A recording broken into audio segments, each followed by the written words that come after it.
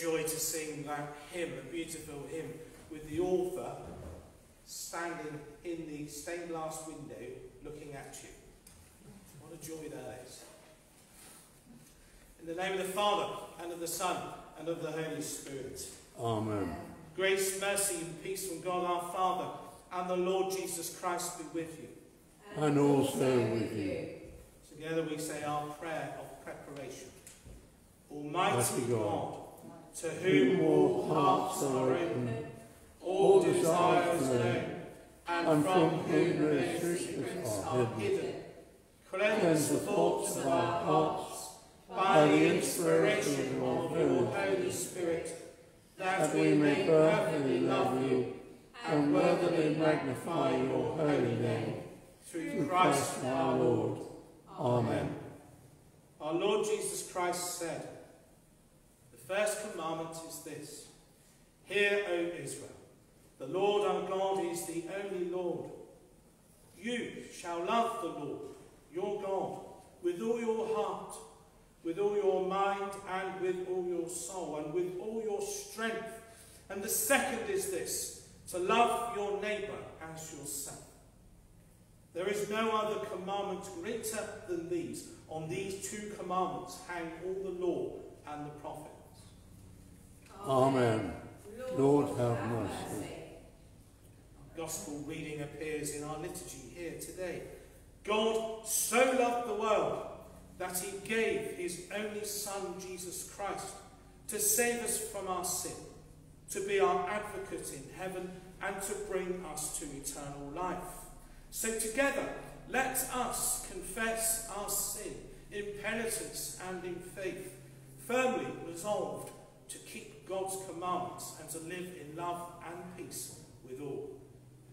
Almighty God, our, Our Heavenly Heavenly Father, we have sinned against you and against our our neighbour neighbour, in thought and word and deed, through negligence, through weakness, through our own deliberate fault. We are truly sorry and repent of all our sins. For the sake of your Son, Jesus Christ, who died for us, forgive us all that is past and grant that we may serve you in newness of life, to the glory of your name. Amen.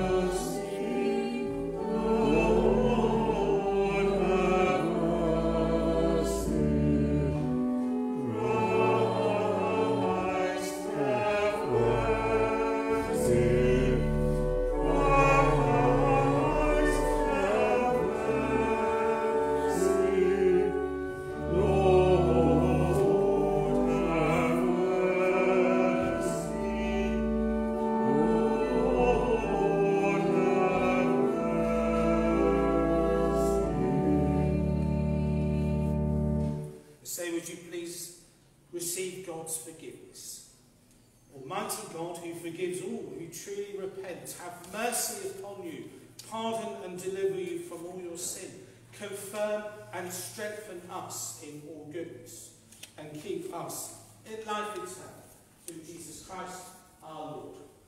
Amen. Glory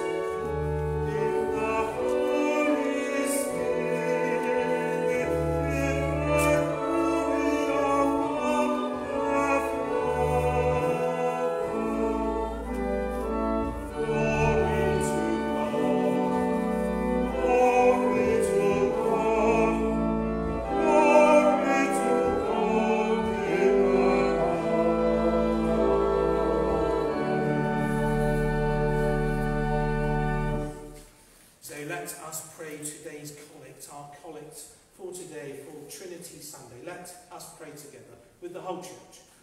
Let us pray. Almighty and everlasting God, you have given us your servants grace by the confession of a true faith to acknowledge the glory of the eternal Trinity and in the power of the divine majesty to worship the unity.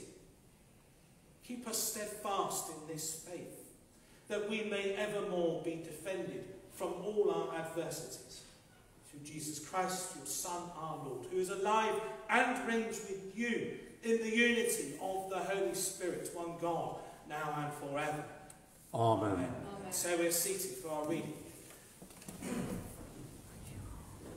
The lesson is taken from the book of Isaiah, chapter 6. Isaiah's vision of the Lord. In the year that King Uzziah died, I saw the Lord sitting upon a throne, high and lifted up, and the train of his robe filled the temple. Above him stood the seraphim. Each had six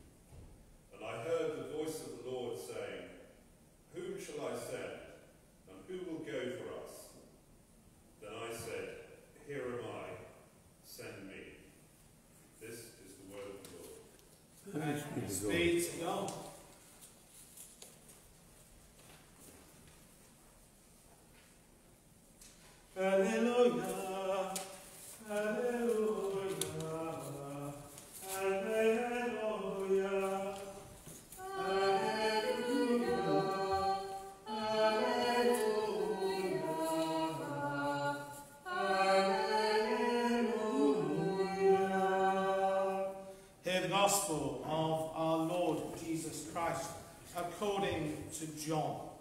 Glory, to you, O Lord. There was a Pharisee named Nicodemus, a leader of the Jews. He came to Jesus by night and said to him, Rabbi, we know that you are a teacher who has come from God, for no one can do these signs that you do apart from the presence of God. Jesus answered him, Very truly, I tell you, no one can see the kingdom of God without being born from above. Nicodemus said to him, How can anyone be born after having grown old? Can you enter a second time into the mother's womb and be born? Jesus answered, Very truly, I tell you, no one can enter the kingdom of God without being born of water and spirit. What is born of the flesh is flesh, and what is born of the spirit is spirit. Do not be astonished that I said to you, You must be born from above. The wind blows where it chooses, and you hear the sound of it, but you do not know where it comes from or where it goes. So it is with everyone who is born of the Spirit. Nicodemus said to him, How can these things be? Jesus answered him, Are you a teacher of Israel, and yet you do not understand these things? Very truly, I tell you, we speak of what we know and testify to what we have seen. Yet you do not receive our testimony. If I have told you about earthly things and you do not believe, how can you believe if I tell you about heavenly things? No one has ascended into heaven except the one who descended from heaven, the Son of Man. And just as Moses lifted up the serpents in the wilderness, so must the Son of Man be lifted up, that whoever believes in him may have eternal life. For God so loved the world that he gave his only Son, so that everyone who believes in him may not perish, but may have eternal life. Indeed, God did not send the Son into the world to condemn the world, but in order that the world might be saved through him. This is the gospel of the Lord. Praise to you, O Christ. And say, may I speak in the name of one God, whose Father, Son, and Holy Spirit. Amen. Be seated. Thank you. Today we should be excited, excited about coming to church. Why? Because today we commend God's love to the world. The central claim of Christianity is that God is love. A Jew, a Muslim, would say that God loves. God loves this world.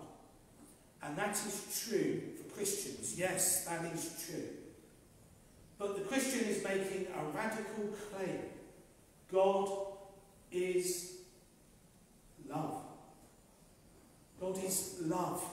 That ultimately, love finds itself in God. It finds its home in God. God is love. Love is not just something that God does, but it is who God is. God's very essence, God's very being, God's existence is love. When we say God is love, we are speaking of an interplay in God. By definition, there must be a lover and a dearest. Yes, God loves the world, but importantly, primordially, God is loving in his nature itself. God is love because there is a play within the God, within one God, lover, beloved, and the love that they share. And the apostles are making a very exciting claim that the one God of Israel, hear, O Israel, the Lord your God is one, has revealed himself as beloved, lover, and love. Jesus is sent into this world as God. And that's the revelation that they're dealing with. God has sent himself into this world. And so there is a sent and there is a sender in God. And Jesus is coming to this world to interact with man, with you, with me. God loves the world, yes. But we become born again as Christians when we affirm that God is sent into this world, that we may know his abundant living, because we seek God. That's the point. We seek God. And therefore, we're entered into this abundant living in God. The offer of rebirth is overlooked by Nicodemus.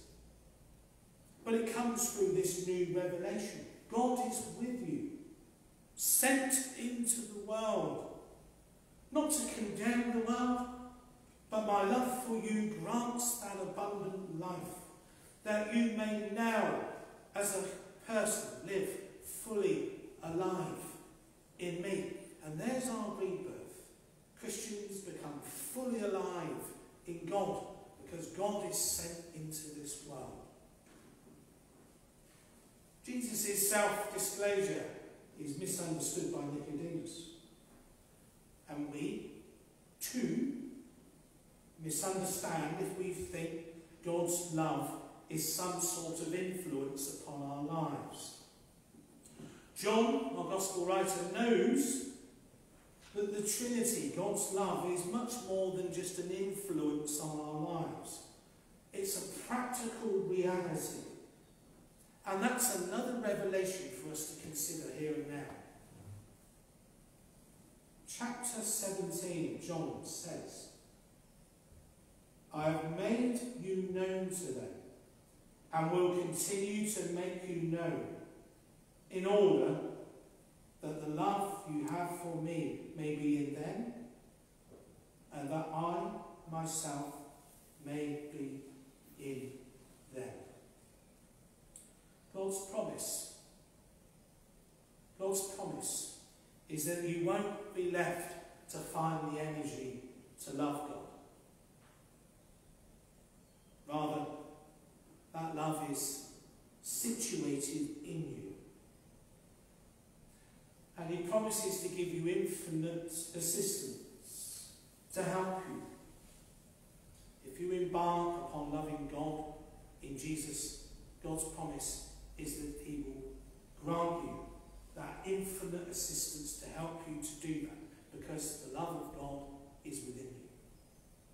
And that makes no sense makes no sense unless we understand that all the activity of God's love is directed towards us in order that we may live in his life more abundantly and that we might come to know and to love to love he who is our maker who is our lord our lover and our keeper God has given you infinite energy to love Him. And that's a practicality that all Christians can plug themselves into. Julian of Norwich said, The Trinity is God, and God is the Trinity. The Trinity is our Maker and Keeper. The Trinity is our everlasting love. It is our joy and our bliss through our Lord Jesus Christ. God is love. In name of the one God who is love, Father, Son, and Holy Spirit. Amen.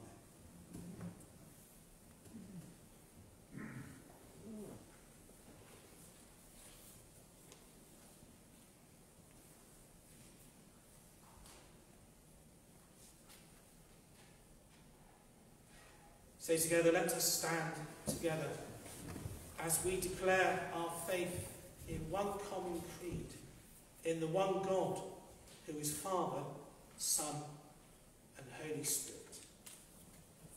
We believe in one God, the Father, the Almighty, maker of heaven and earth, of all that is seen and unseen.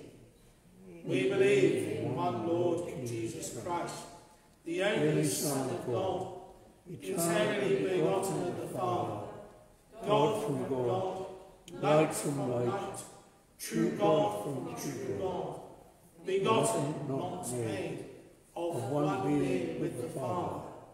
Through him all things were made. For us and for our salvation, he came down from heaven, was incarnate from the Holy Spirit, and the Virgin Mary, and was made man. For our sake he was crucified under Pontius Pilate. He suffered death and was buried. On the third day he rose again, in accordance with the Scriptures. He ascended into heaven and seated at the right hand of the Father. He will come again in glory to judge the living and the dead and his kingdom will have no end. We believe in the Holy Spirit, the Lord, the giver of life, who proceeds from the Father and the Son, who with the Father and the Son is worshipped and glorified. He has spoken through the prophets. We believe in one holy, Catholic, and Apostolic Church. We acknowledge one baptism for the forgiveness of sin. We look for the resurrection of the dead and the life of the world to come. Amen. So let us pray to the one God who's Father, Son, and Holy Spirit. Let us pray.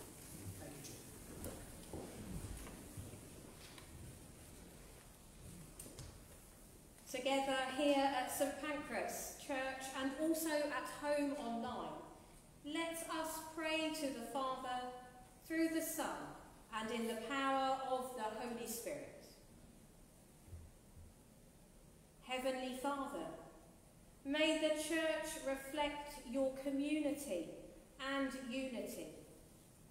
May there be godly harmony, shared ministry, mutual support and encouragement in the faith.